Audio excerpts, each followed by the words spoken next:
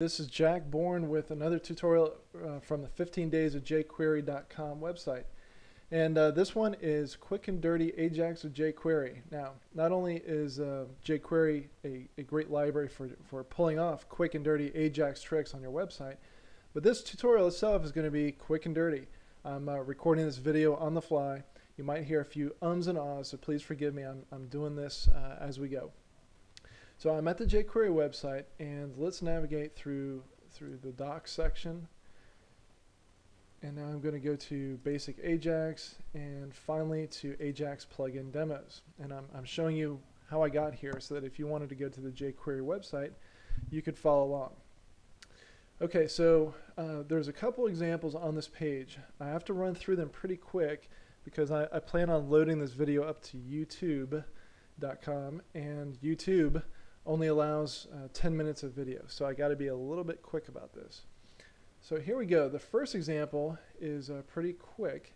It's called loaded from loaded from an X loaded from an HTML file. And what what you essentially have here is you have this div, and this boundary around it is, uh, is demarcates the div. But uh, inside this div, really there's there's no content until jQuery comes along and adds some HTML. So how did it do this? What it does is, with if you look at this short little snippet of jQuery code, you'll see that it looks for a div on this page with an ID of HTML. Okay, and that's where you see this boundary. So it finds that div, and we're going to populate it with some HTML using a li neat little jQuery function, load. So load goes and grabs whatever page is, is inside the parentheses and that would be, in this case, ajax-test.html. So I've highlighted this, and I'm going to hit Control C. I'm going to drag this down so you can see that I'm going to go to the address bar and paste ajax-test.html and go to that page. And here we have an actual HTML page. And if I view the source code, you'll see it is indeed HTML. We have opening and closing H1 tags and some other familiar HTML and I'm not going to go through that, but it's just a little little snippet of HTML. So let's go let's go through this code real quick. What we're doing is we're grabbing that HTML, uh, be it large or small. We're grabbing that HTML found on this page inside the load function, and we're going to uh, jQuery is going to populate that inside of the div with the ID of HTML, and this is what you get. This is the HTML from that external file, and that's the that's one of the magic I hate to say magic tricks, but that's some of the magic that you can create with Ajax. Uh, okay, so let's go down a little bit. I'm going to scroll down because I know I'm short on time here. Okay, I'm going to go down to, I'm going to skip some of the XML stuff.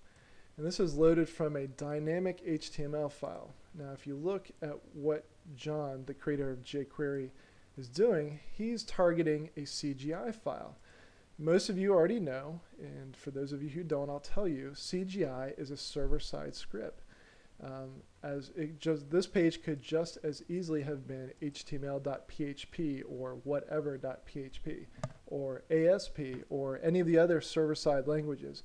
Okay, so the point being that we're going to be able to pass some information to this page and then the server is going to be able to generate some information.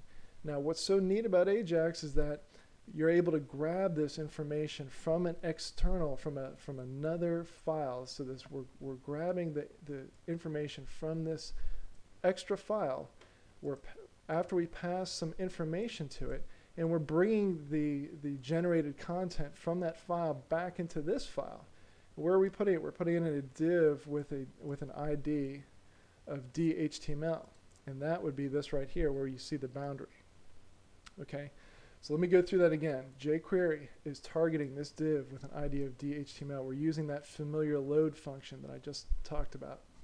It's targeting the HTML.CGI page. Now let me go ahead and copy and paste this. For those of you not familiar with how server-side files work, I'm going to copy this into the address bar and you'll see that it says just hello comma.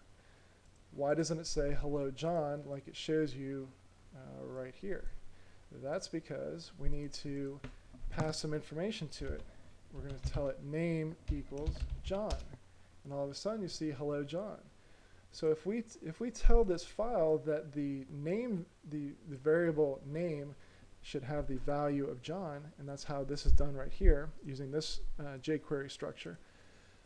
Uh, the CGI file will spit out hello comma John.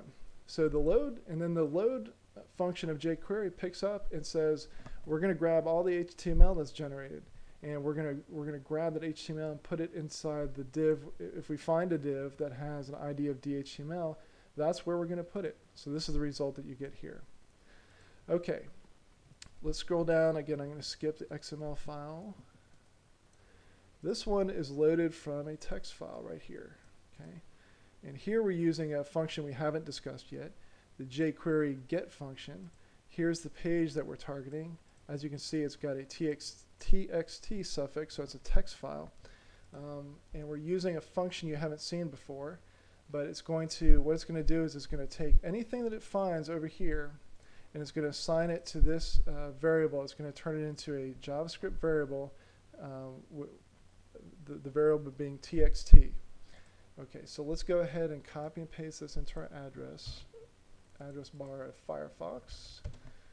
And we've got, this is coming from a text file. So here's our text file. So when we come back, how did we generate this HTML?